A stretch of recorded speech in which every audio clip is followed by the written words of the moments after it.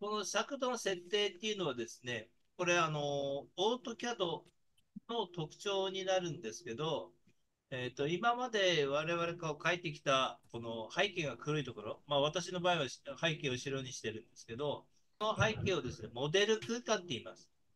で、モデル空間って何っていうと、要は実寸で書くエリアなんですね。だから、紙の時代は、その図面枠って、例えば A1 の図面枠って大きさ決まってますよね。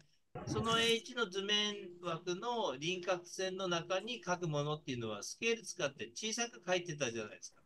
要は、1000ミリを1ミリに書く。そうすると、まあ、1000分の1っていう感じでやる。このオートキャドの考え方は、全くそれと逆な発想でこの CAD を作ったんですね。まあ、パソコンになったので、えー、中に書く、あのー、構造物は全部実寸で書けるよと。ミリのものは100ミリ。1000ミあの100メートルのものは100メートルのそのままの寸法で書けるよと。で、図面枠がそうすると今までとあの合わないんじゃないですかって、はみ出るんじゃないですかっていう発想になるんですけど、図面枠を逆に大きくしたんです。なので、えーと、100分の1の場合は図面枠を100倍。1000分の1の場合は図面枠を1000倍に変えて、そして印刷するときに、またそれの1000分、1000倍にしたら1000分の1に印刷すれば元の A1 に戻るよ。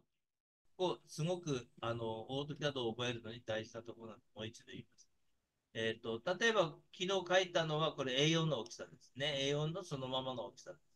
で、これから書く、え、ー、と、建物っていうのは、横が8500、縦が5500の大きさなんです。要は8、8メーター500と5メーター500。そうすると、こうなるんです。これが取り紙なんですね。これだけの大きさっていうことは、結局 A4 の1分の1では収まりきれないってことです。じゃあ、これ収まるのにどうすればいいのかっていうと、これを拡大していくんです。尺度変更で。はい、起点はこの左下。で、今回、例えば10倍にしてみます。そうすると、はい、こうなりました。10倍にしたんです。10倍にしても収まりきれません。まだ入らないですね。そしたら今度はこれをまた5倍にしてます。はい、これを5倍にするってことは、これで50分の1ですね。そうするとこのように入った。